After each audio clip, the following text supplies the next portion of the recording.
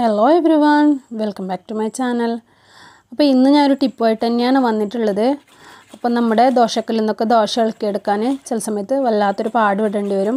അപ്പോൾ പുതിയ ദോശക്കല്ലൊക്കെ ആണെങ്കിൽ പിന്നെ അതുപോലെ തന്നെ ഒരുപാട് കാലം ഉപയോഗിക്കാതെ വെച്ച ദോശക്കല്ലൊക്കെ ആണെങ്കിൽ ഇത് ഇളക്കിയെടുക്കാൻ വേണ്ടിയിട്ട് നല്ല ബുദ്ധിമുട്ടാണ്.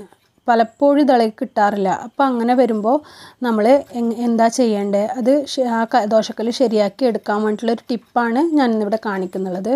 അപ്പോൾ നമുക്ക് വീഡിയോയിലോട്ട് പോവാം. അപ്പോൾ ഇത് ഞങ്ങൾ വർഷങ്ങളോളം ഉപയോഗിക്കാതെ വെച്ചിട്ടുള്ള ദോശക്കല്ലാണ്. അപ്പോൾ രണ്ട് മൂന്ന് വർഷമൊക്കെ ആയിട്ടുണ്ടാവും. അതിപ്പോൾ ഞാൻ നന്നായിട്ട് കഴുകി എടുത്തിട്ടുണ്ട്. ഇനി ഞാനിതിലേക്ക് നന്നായി ഓയിൽ സ്പ്രെഡ് ചെയ്തതിന് ശേഷം ദോശ മാവ് ഒഴിച്ച് കൊടുത്തിട്ട് നമുക്ക് നോക്കാം ഇതെങ്ങനെയാണ് ദോശ വിട്ട് വരുന്നുണ്ടോ ഇല്ല എന്നുള്ളത് അപ്പോൾ ഞാനിതിലേക്ക് ദോശമാവ് ഒഴിക്കുകയാണ്.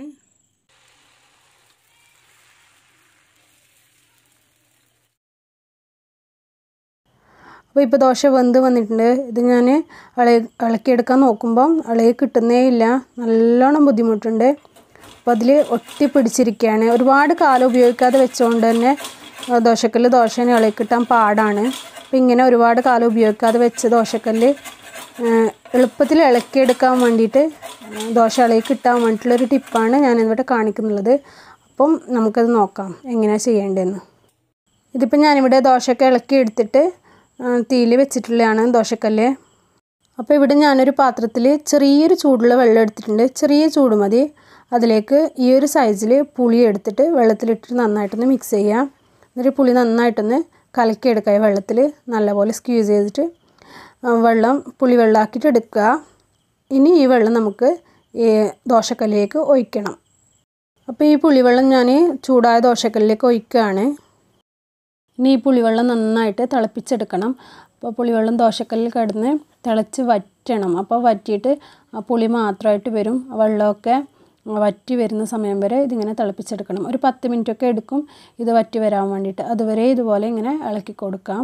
ആ പുളി നന്നായിട്ട് എല്ലായിടത്തും ഇടയ്ക്കിടയ്ക്ക് സ്പ്രെഡ് ചെയ്ത് കൊടുക്കുക. അപ്പോൾ ഇത് വെള്ളം വറ്റി വരുന്നുണ്ട്. അപ്പോൾ നല്ല പോലെ വറ്റി വരണം. പുളി മാത്രമായിട്ട് ബാക്കി ഉണ്ടാവും. അപ്പോൾ ആ ഒരു സ്റ്റേജ് വരെ ഇതുപോലെ ഇളക്കി കൊടുക്കുക. അപ്പോൾ വെള്ളമൊക്കെ ഏകദേശം വറ്റി വന്നിട്ടുണ്ട്. പുളി മാത്രമായിട്ട് ബാക്കിയായിട്ടുണ്ട്. നല്ല പോലെ എല്ലായിടത്തും പുളി ഇങ്ങനെ സ്പ്രെഡ് ചെയ്ത് കൊടുക്കാം.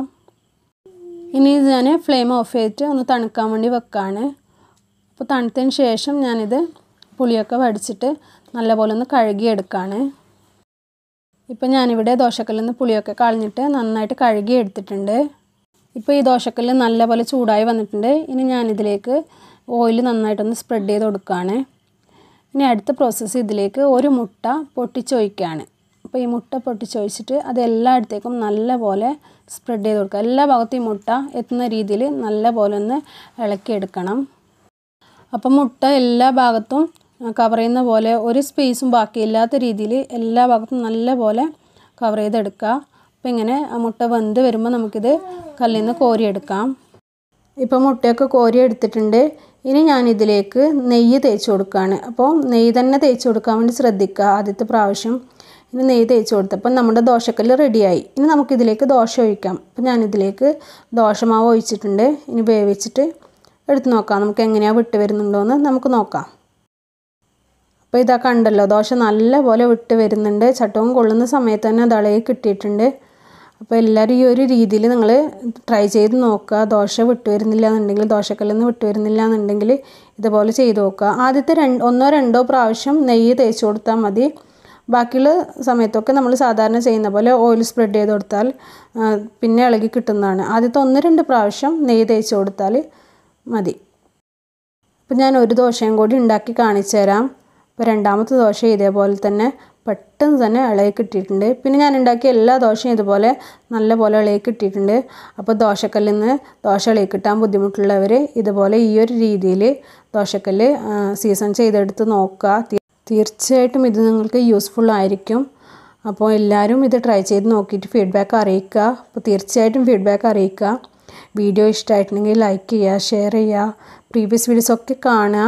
ചാനൽ ഇതുവരെ സബ്സ്ക്രൈബ് ചെയ്യാത്തവരാണെങ്കിൽ ആ സബ്സ്ക്രൈബ് ബട്ടൺ ഒന്ന് ക്ലിക്ക് ചെയ്യണേ. അതിനടുത്തുള്ള ബെല്ലൈക്കൺ കൂടി ക്ലിക്ക് ചെയ്താൽ ഇനി ഞാനിടുന്ന വീഡിയോസിന് നോട്ടിഫിക്കേഷൻ കൂടി കിട്ടും ഇൻഷാല്ല സോ പ്ലീസ് അഗെയിൻ താങ്ക്